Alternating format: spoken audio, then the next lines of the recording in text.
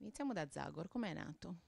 Ma è nato da un incontro con Bonelli. Io lavoravo per la Francia.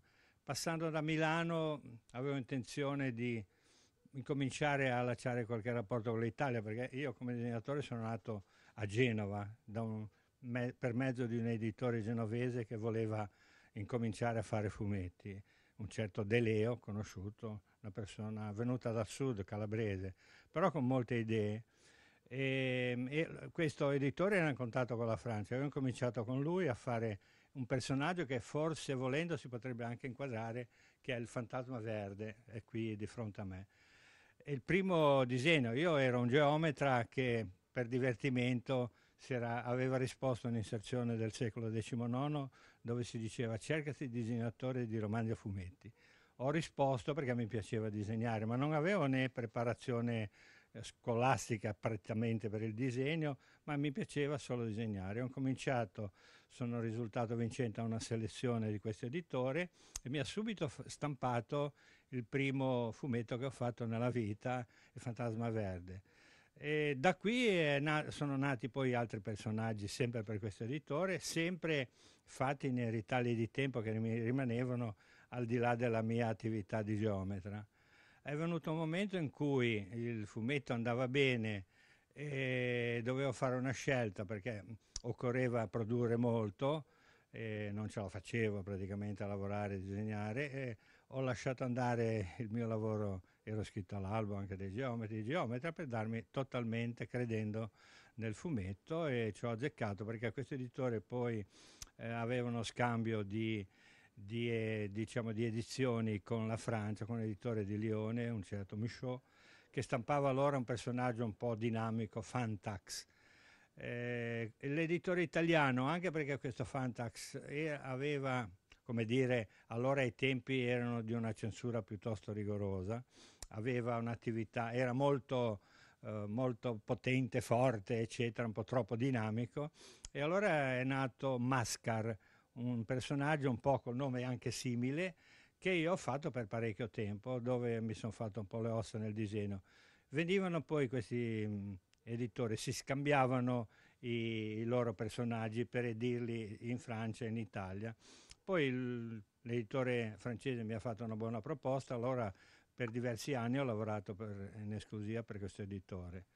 Giusto lavorando per questo editore, passando così per Milano, ho detto mollo la Francia, volevo lavorare un po' per ritornare all'Italia e ho incontrato per questo Bonelli, mi sono presentato con molto materiale francese, ero già abbastanza preparato, Teniamo presente che a quei tempi ehm, disegnatori molto bene preparati nel fumetto ce n'erano pochi.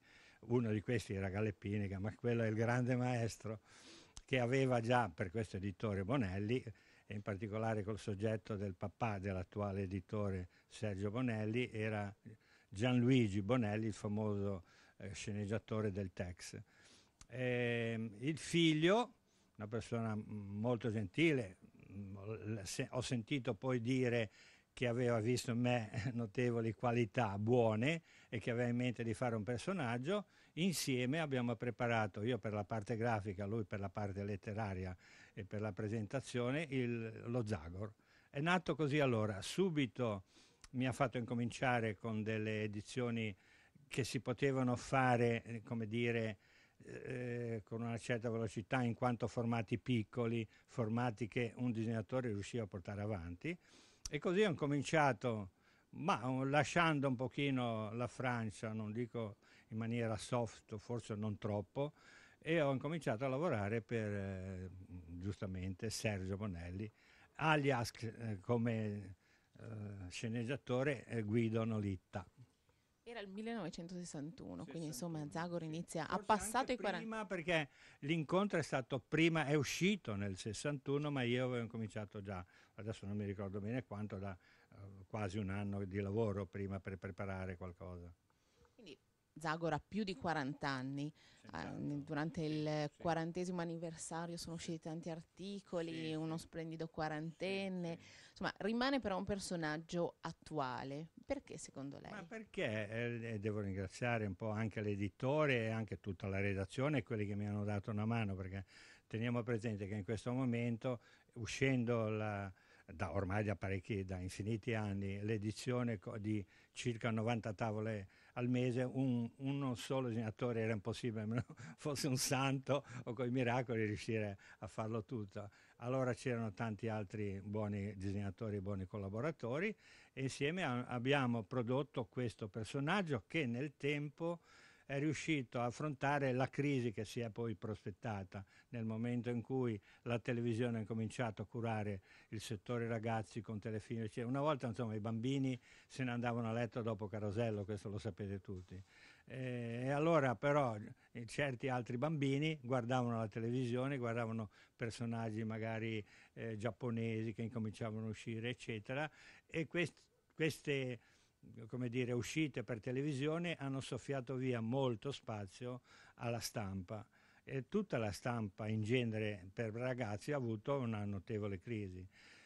abbiamo affrontato questa crisi, dicevo, e grazie insomma, come dire, alla direzione di Sergio Bonelli, il Nolitta dello Zagor, che è, è riuscito a adattare un pochino ai tempi nuovi le sceneggiature e anche, se vogliamo, i disegni eh, di conseguenza. E quindi l- è per questo che vorrei dare un valore particolare alla, sopravvi- alla riuscita, ma non solo nel mio personaggio, ma anche negli altri personaggi che in tutti hanno sentito la crisi de- dovuta all'avvento della televisione come mezzo di, che poteva interessare i bambini e anche un po' i ragazzi, diciamo, più adulti, affrontare creando anche personaggi nuovi più adatti ai tempi e alla mentalità che si proponeva.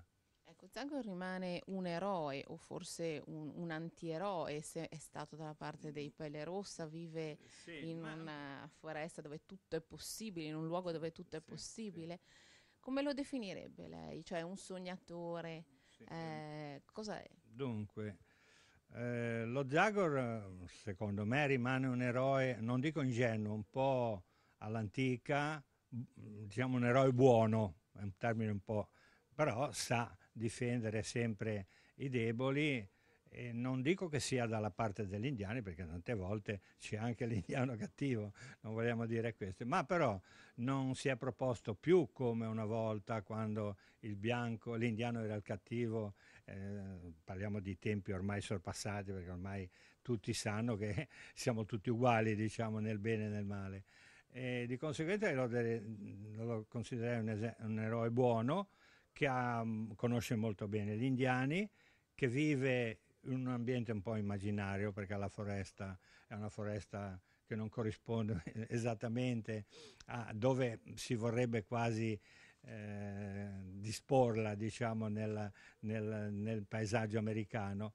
Però eh, la fantasia rispetto a, per esempio al Tex eh, naviga parecchio di più forse per quello che si distingue nettamente dal Tex come personaggio. Io mi riferisco al Tex come personaggio nato prima, ma però del, del tipo dello Zago. Si dif- differisce perché uh, è riuscito, mentre il Tex non dico è ripetitivo, cioè rimane sempre in un ambiente che rimane cristallizzato eh, nel, nel, tempo diciamo, e, e anche nello spazio, Zagor eh, con la fantasia riesce a portarsi in tutti gli ambienti, si è già portato, nell'ambiente del mistero, nell'ambiente spaziale, nell'ambiente dell'avventura classica, eccetera. Quindi si adatta un pochino a molte forme che si adattano a tutti gli ambienti, sia nel tempo che nello spazio. Di conseguenza credo che un certo successo e la continuità che ha avuto sia dovuto a questa capacità di adattarsi all'ambiente. D'altronde è una teoria darwiniana che chi si adatta all'ambiente sopravvive. Questo suo rapporto ultra quarantennale con un eroe di cartone come lo vive?